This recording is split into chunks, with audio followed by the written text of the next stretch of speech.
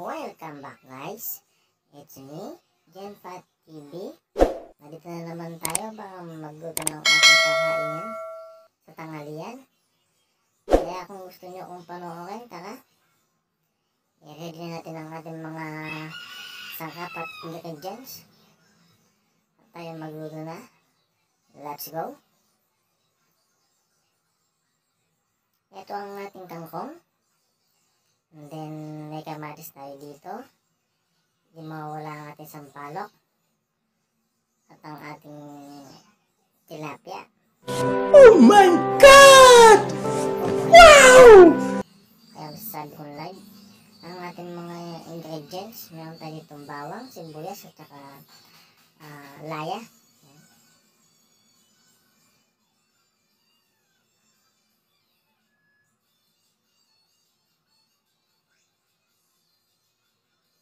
Yan. Ito po sa ating tilapia, tatlo ang ating isasampalukan. Kasi yun, yun lang tayo dito sa bahay.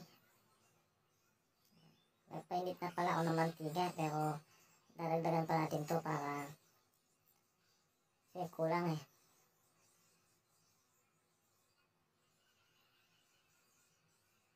Bali ako. Pag nagsasampalukan ako, pinipirito ko muna para maalis yung lansa.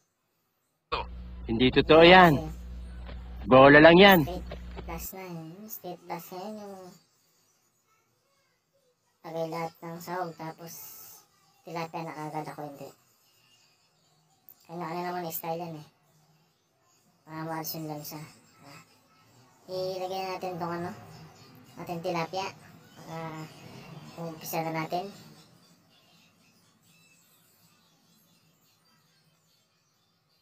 Yan. Yun lang. Pati tilapia ngayon, pumuputok na. Yan o, pwede nga naman.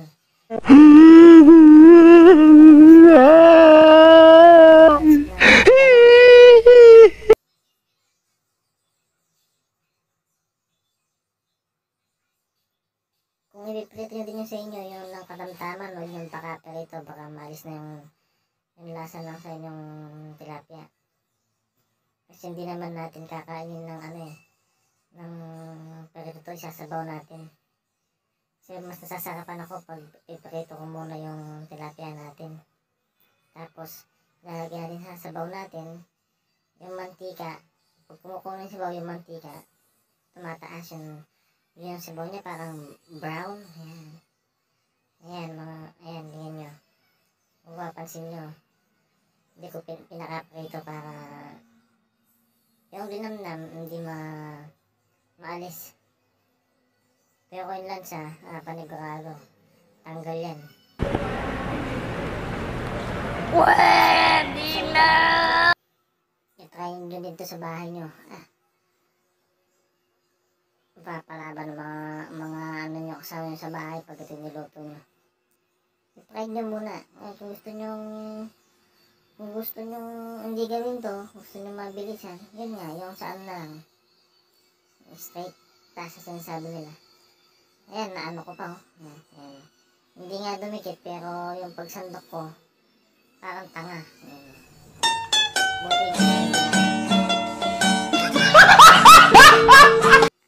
Bali, ang ang sasampalukan natin ngayon, tatlo lang kasi tatlo lang kami sa bahay ngayon. Tapos sayang lang yung ano, niluto natin. Ayan.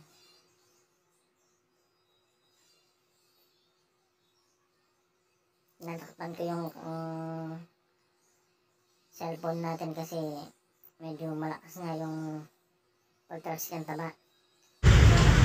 Sana all ligtas. Parang sa bangus lang yun eh. Pati pa si tilapia. Ito na. Ito ang ating pinakahihintay. Lalagay ko ang ating sampalok na pampaasin.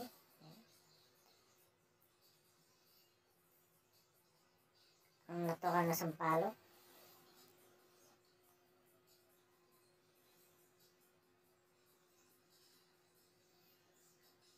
Ito mga kaibon. Yan, pag hinilok mo yung sigaw niyan, ay, panigurado. Yung asim niya iba. Pakukulo na- lang natin tong ating sampalok hanggang sa lumabas ang kanyang katas. Yung asim. Paano masabi?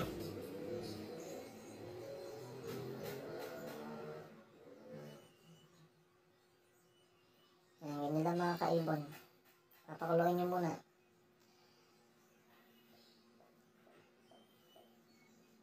Isa pa para Ayan.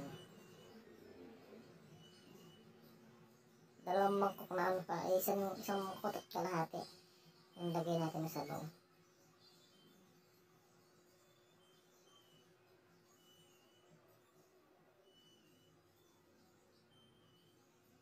Takpan natin para agad kumulo. Ayan mga kaibon, kitang-kita nyo. Talagang umano na yung ano. Tumataas na ang ating takip ng kawali.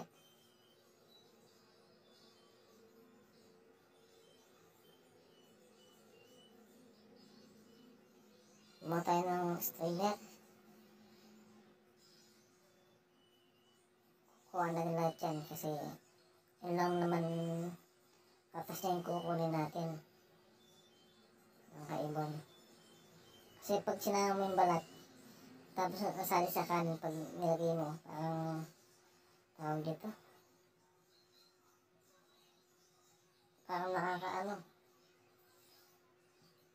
Um, basta. What?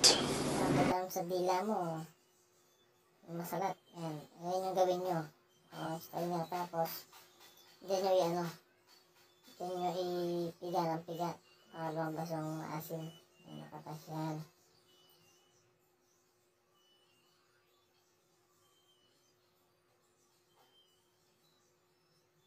Patayin nyo muna yung apoy para yung anong umitangin yung hinahawakan ng strainer.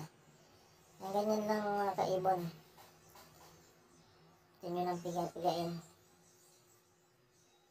Pamiligayin to para ah, ganyan. Para ulo. Ayan.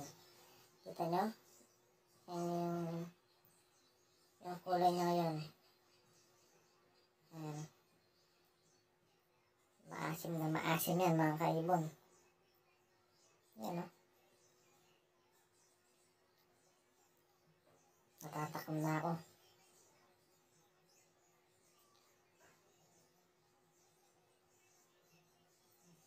Lagyan natin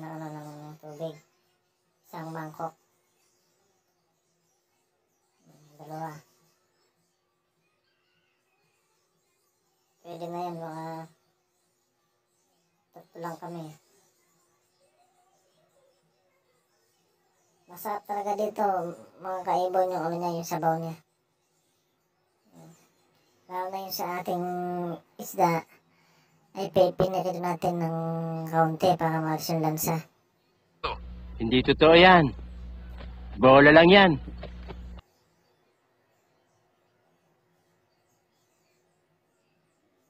Yan mga kaibon, pwedeng pwede na to. Alisin na natin itong ating sampalok. Mamaya, pag di ko maasim, yan natin ulit. Balik natin. Pero mukhang maasim na maasim na to sa kulay pa lang niya. Yan o. Tignan natin ng konti. Ako din yung kakain kaya yun na lang yung pinagsandok ko. Hindi naman kayo. What the f- Ayun mga kaibon, idigan ko pa ng isang mangkok na, to, na ano, tubig. Lagyan natin ng ating kamatis. Ayan. Lalasawin natin mamaya yan para may konting tamis ng ating ano, sinampalokang tilapia. Lagyan yung onion. Tapos,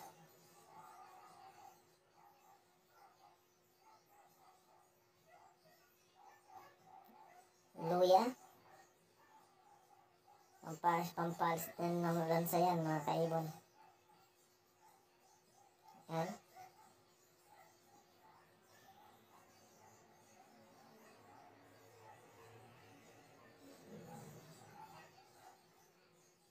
Nilagyan ko kayo ng ano yan, mga kaibon, ng bawang. Pero, sa kadalasan hindi na binibigyan ng bawang kasi may laya na ito. Kasi buyas ako kasi, yun trip ko eh. Trip ko yun eh. Diba? Ano kaibon ko rin mo? Pwede na! Parang, palasaw na ang ating ano, kamatis.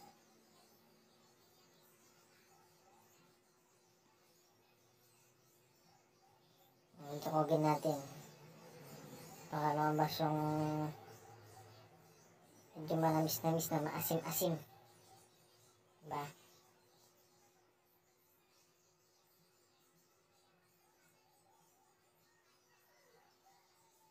Pag okay na yan, mga kaibon, talagyan natin ng ating ano, ang ating piniritong tilapia kanina.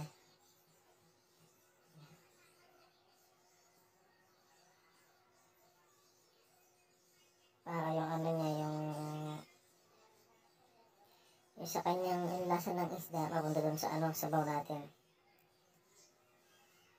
Ayan.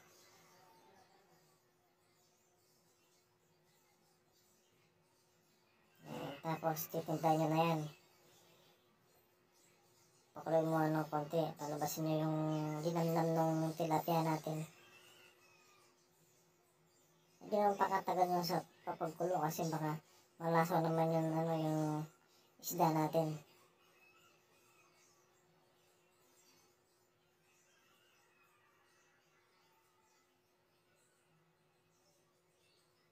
Ayan natin kumulo.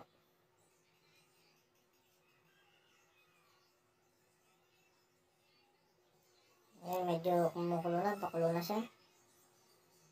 Diba natin ng asin. dalawang scoop na asin.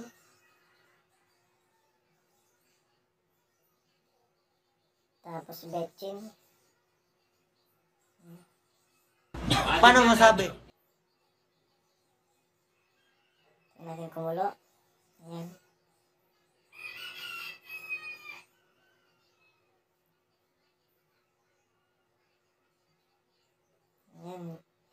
Kaibon. Ayan, kumulo na. Lagyan natin ng ating talbos ng kangkong. Ayan. Ako, sa ano lang, hindi nilagyan ng talbos to. Ako lang naglagay. Yung pangat kasi natural lang na walang ano, halong gulay to. Pero bibigyan ko kasi mas masarap pag may gulay. Di ba? Sana all! Medyo malapit na maluto to ga- mga kaibon. Kasi nilagyan natin ng kangkong. Ayan natin siyang ano, lambot ng konti yung ating gulay.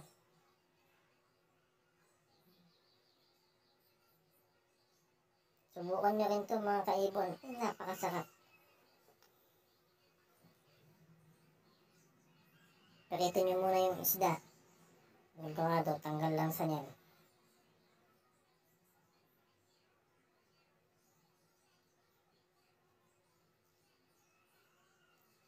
Yan mga kaibon.